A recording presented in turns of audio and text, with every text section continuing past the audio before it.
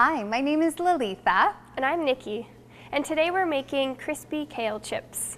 Perfect. So what we have here today, we have two different varieties of kale. We have a green kale and we also have a purple kale. So what we're doing, we're just ripping apart the leaves off of the stem and we're putting them in this bowl right here. And kale, a lot of people don't know about kale, and when they see it in the grocery store, they're not exactly sure how to use it. Kale is very versatile. You can add it into soups. Mm -hmm. You can make a salad with it. You can also add it into stews. And what we're doing today, we're being creative. We're making chips. And I must say, I have a toddler at home and she loves the texture of chips. So this is a great way to introduce this vegetable to your kids at home.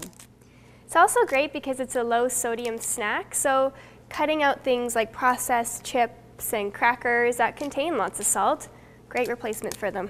Absolutely, and not only that, it's great for individuals who have high blood pressure because really we want to emphasize on lowering the amount of salt in your diet when you do have high blood pressure.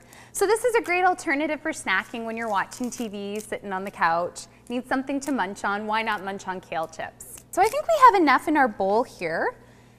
And what we've done, we've just layered a pan sheet with some parchment paper, which we're gonna put the kale on.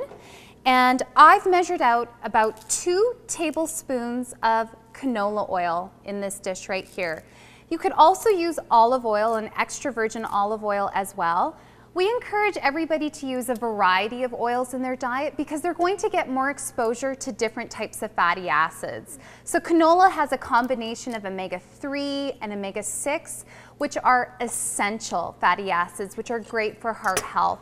Olive oil has omega-9, which is also great for heart health too. So we have our olive oil, and what I'm gonna do, just to add a little bit more spice to our kale chips, I'm gonna add some lemon rind. So lemon rind is great because it has some of those oils inside of it, which make it a little bit more flavorful and pungent. So you don't need lots. So I'm just gonna mix that into the olive oil so that it adheres to the kale chips. So I'll give that a little bit of a whirl. Excellent. And then we'll just start putting the kale onto the parchment paper. It looks like a lot, but it shrinks up when you're cooking it. I'm just gonna add my canola oil on top. And then just to make sure that all the leaves are coated, I'm just gonna scrunch them together. That'll help them crisp up and give them that good crunch. We preheated the oven to 350 and we're gonna cook them for about eight to 10 minutes. So we're gonna pop these into the oven now. And like Nicky mentioned, about eight to 10 minutes. You wanna watch because they might start browning at around eight. If they get too brown, they're gonna start to burn. So you wanna take them out before they probably get brown, mm -hmm. around greenish yeah. still, okay?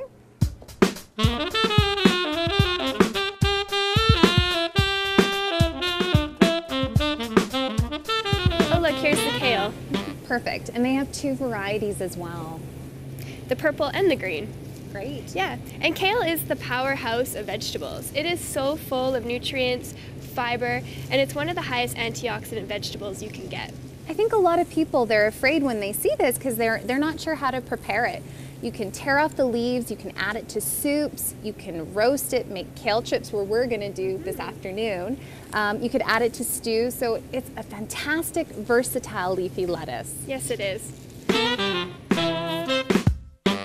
our kale chips are done. Excellent. They look great. They're still a bright green and purple color. And you just want to let them rest for a while so that they can crisp up. They, they still might be a little bit soft once you take them out of the oven. When we're choosing our vegetables, we want our vegetables to be really rich and vibrant in color. And I think that holds true for this plate. We have purple, we have green.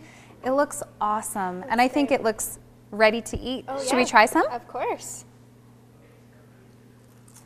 Hmm.